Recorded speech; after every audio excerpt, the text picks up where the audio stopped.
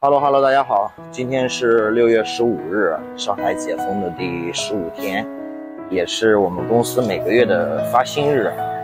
之前因为疫情封控，四五月份两个月的薪水一直是处于延期发放的状态。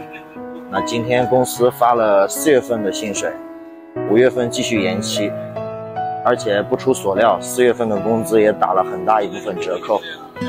前面两个月疫情封控期间。一些应还的贷款，银行也提供了延期还款服务，累积到这个月，啊，一系列的贷款加上房租，以及乱七八糟的生活支出，确实把人压得抬不起头。作为一个在上海打工的沪漂，我所面临的处境同样是很多异乡人正在遭遇的状况。但话说回来，员工有员工的难处，企业也同样有。业的酸楚。自从六月一日上海宣布解封复工以来啊，关于中小微企业经营困难的负面消息愈演愈烈，现金流短缺也导致了很多企业不得已做出减员、降薪，甚至是倒闭解体的决策。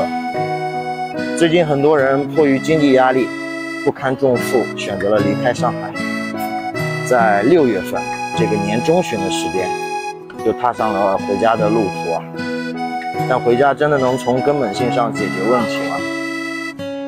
这是一个开放性的问题，就留给大家自己去解读吧。